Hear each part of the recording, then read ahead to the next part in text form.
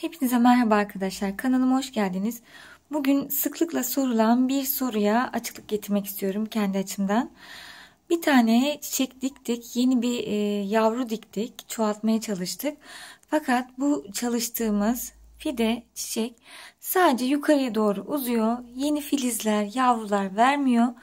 Ben yeni yavru vermesi için, yeni filiz vermesi için çiçeğimde ne tür bir uygulama yapabilirim? Onun hakkında bilgi vermek istiyorum arkadaşlar. Öncelikle e, birkaç örnek çiçek buraya masaya koydum. Bu söylediğim şey arkadaşlar e, yapraklarının kenarından filiz çıkartan filiz yuvaları olan e, çiçekler için geçerli arkadaşlar. Her çiçek çiçeğin büyümesi, yavru vermesi farklı. Mesela arkadaşlar şu yaprak güzelini ben e, örnek olarak göstereyim size. Bu yaprak güzelimi ben bir ay, bir buçuk ay önce diktim. E, ve bu yavru bir yaprak güzeli. Küçük bakın filizleri var. Buralarda yaprak vardı normalde. Ve bu normal yukarıya doğru uzuyor. Uzayacak. Bu uzarken bunlar çok hızlı çabuk uzamıyor. Ne yapmam gerekiyor arkadaşlar? Belli bir uzunluğa erdikten sonra eğer bunlar çok uzamıyorsa tepe noktasından arkadaşlar şurayı kırmam gerekiyor. Mesela şunu göstereyim arkadaşlar. Bu ıtırım benim. İkisini de bu sene diktim. Bakın bu dümdüz yukarıya doğru uzuyor. Ve normalde bu çiçeğin şuralarında filiz yuvaları var. Fakat görebiliyor musunuz? Boyunun uzamış olmasına rağmen henüz filiz yuvaları belirmedi. Hani filiz yuvalarından çok küçücük görünüyor. Bu belli bir uzunluğa hatta şimdi bile olabilir. Şu tepe noktasının büyüyen kısmını ben kırmam gerekiyor. Kırarsam bir santim kadar da daha iyi yapayım arkadaşlar. Heh. Bakın. Bunu kırdım. Kırarsam ne olur arkadaşlar? Buralarından yeni filizler daha hızlı büyüyecektir. Bunu da göstereyim. Ben bunu da yaptım daha önceden. Kırdığım yeri göstereyim size. Şurası. Netleştireyim. Evet.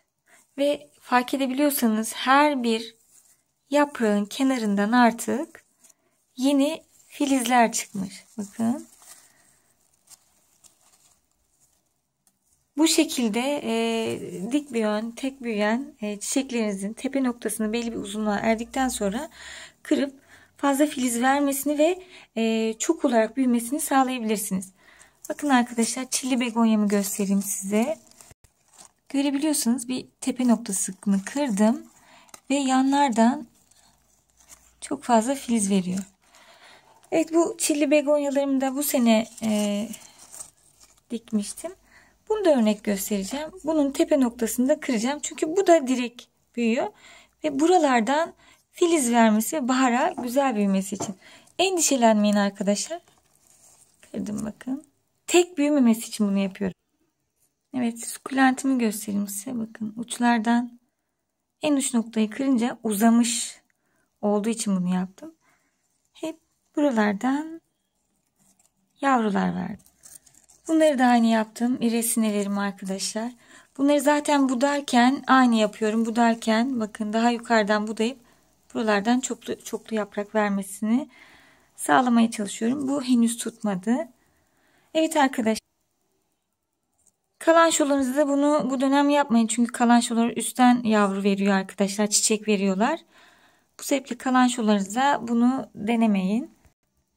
Tabii ki iyi filiz vermesi, iyi yavrulaması için arkadaşlar yeterli ışığı alması, aydınlığı alması. Mesela bu yapraklı e, çiçekler genellikle aydınlığı, ışığı seviyorlar. Çok güneşte bu gördükleriniz yaprakları yanabiliyor arkadaşlar.